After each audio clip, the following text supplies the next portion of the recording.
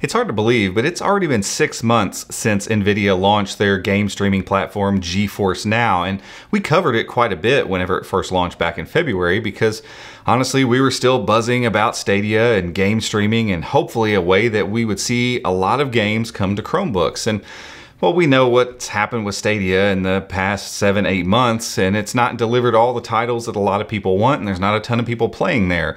And while GeForce Now launched and was really cool on Android and Windows and Mac OS, it wasn't really great on Chromebooks because there was no way to get us into the games that we wanted to play. But as of today, GeForce Now is available in the Chrome browser on Chromebooks specifically. So we want to go in, go hands-on, and show you how it all works. Before we hop into a game, this video is brought to you by NordVPN. They're the VPN of choice for millions of consumers because they're awesome at what they do, and that is keeping your browsing safe and secure, whether you're at home or out and about. If you'd like to learn more about them and their services, head over to chromeunboxed.com forward slash NordVPN. You can learn more and get started today. All right, so all you have to do in order to play this is, A, you need a GeForce Now account. So if you don't have that already, head over to play.geforcenow.com. That's actually the web portal where you're gonna go to play your games, but there's also a special offer up here and you can get a discounted rate on the Founders uh, package that they have. You don't have to pay for that, but if you don't, I think you're really limited on the time that you can play. So it's like an hour at a time or something like that. I, I don't know all the specifics of all that kind of stuff, and I think they've changed it possibly uh, in the last few months. I stayed on the Founders. It's five bucks a month uh, since it launched, and so I just came here, logged in up here in the corner. Once you're logged in, just like on the application in Android, or if you've used the application on Windows, all your stuff's right here and the interface is really nice. You click into a game it expands and tells you a little bit about the game and obviously if it's ready you can go and hit play. You can go up here and search for games. So for instance portal. Uh, yeah i know. Got it. So for instance portal if i can type See Portal and Portal 2, I don't have either one of those games in my library, but they're available via Steam. It shows you right there. If you have a Steam account, it'll prompt you to log in whenever you go to add that to your library. It's no different than the GeForce Now that has been there. None of this has changed from what's been occurring for the last six months. So if you're not familiar with that, we have other videos about that. There's plenty on the internet about how GeForce Now works and what's available and what's not available and all that kind of stuff. That's not what we're here to talk about. What we want to show you is how well the web player works right from the web. So zero downloads, no setup, nothing needed here. You just log in with your Chromebook and I'm gonna click play and it's gonna begin the launcher just like, again, like it would have done in the Android app or anything else. And when this is done and up and running, we will cut back. Okay, so after it gets through all the loading, I mean, after all Fortnite and a lot of these games, because these are all running basically on a PC in the cloud, they're gonna take a few minutes to load in, but once you're loaded in, you can already see from the get-go, if you can pick up on that mouse tracking, the mouse tracking is almost perfect. I mean, everything just moves exactly in sync with, it makes you feel like you're just running this locally, which clearly you're not, but it doesn't feel any different than if you were running it locally. So I'm just gonna hop right into this um, solo match here. And again, I'm not a professional Fortnite player. If I'm anything, I'm a PUBG player, uh, but I'm a PUBG mobile player. So I'm a little rusty with the whole uh, keyboard trackpad thing, uh, keyboard mouse controls. Uh, so don't judge me for that. However, I would like to, now that this is available and I can play Fortnite this way, I play Fortnite on my iPad from time to time uh, with my kids. You know, I'd like to get better at it with uh, mouse and keyboard now that I have a setup that I can kind of rely on to to have it all the time. I can flip this open and jump into a match with my kids. But you can already see lighting effects. You can see, if you can see my hand down here, I mean, it's super responsive. I mean, it it doesn't hesitate whatsoever. Again, it really gives off the feeling that you're running this thing locally and it's really impressive, to be honest with you, how smooth this all works in a browser.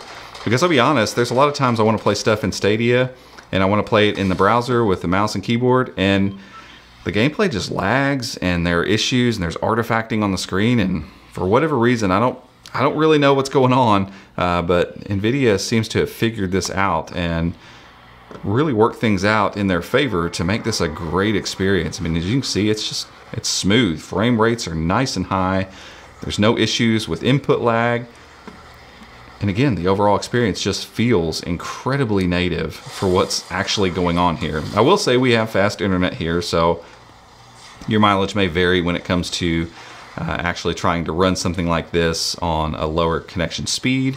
Um, so keep that in mind. If you're getting into streaming gaming, I'm assuming that you kind of know that to begin with. And we're going to run some more tests as, as time goes by to figure out like what can we get away with on this? Can we can we use an LTE connection? Is it is it going to work over over those types of connections and stuff? But ultimately, it's about over a good connection. How how native does this whole thing feel? And I can tell you right now, very very native. I mean this this is just great. And uh, I, I, do wish PUBG would not have left.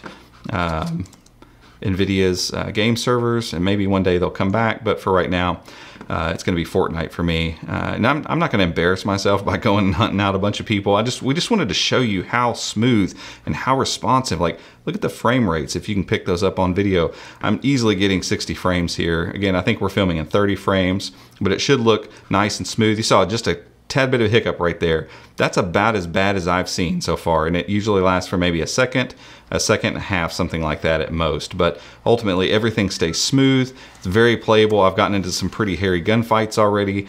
So even when there's multiple people on screen, people shooting and stuff blowing up and going crazy, no real hiccups, no real issues with performance whatsoever. What I also want to show you is if you like gaming with a controller instead, something like this or a PlayStation controller, we would assume even the Stadia controller would work. If you got a controller paired up, we're gonna turn this Xbox on, and I believe I'm paired up already. Yep, there we go. Boom, good to go. So all of these work, menus work exactly like you'd expect left and right triggers, all that stuff works just like you'd expect. And if you're like, eh, you know what, I'm tired with that, I'd like to go back here, this is still working as well. So kudos to NVIDIA. I think they probably pulled a lot of this stuff off of the work that has gone into making Stadia work in the browser. And for what it's worth, it feels a, oh, oh it feels a little bit like they, look at me, I got an elimination uh, it feels a little bit like they might have uh, taken that work and improved on it possibly because this is just super impressive uh, to be running on a $400 Chromebook that I have sitting in front of me. And ultimately, when I tried this out to begin with this morning when it first launched, I was doing it on a sub $300 Chromebook with a very entry level small core Intel processor in it. So what NVIDIA is doing here is very, very impressive. It's awesome that I can jump to a Bluetooth controller if I want to. I can use mouse and keyboard if I want to. I could plug in uh, keyboard and mouse if I wanted to extend the screen. I was doing it earlier on a larger display. It's very, very flexible. It's very, very smooth and very, very responsive and something I would say for five bucks a month, if you already own some games or you want to play games like Fortnite that are free to play, this is an awesome solution for a lot of people that have Chromebooks and want to play some games. But that's really all we wanted to show you. We're going to spend a lot more time with this get some better reviews and see what we can get away with basically on what low-end Chromebooks and how low the latency can be on bad connections and all that kind of stuff and some other peripherals that would work with all this stuff.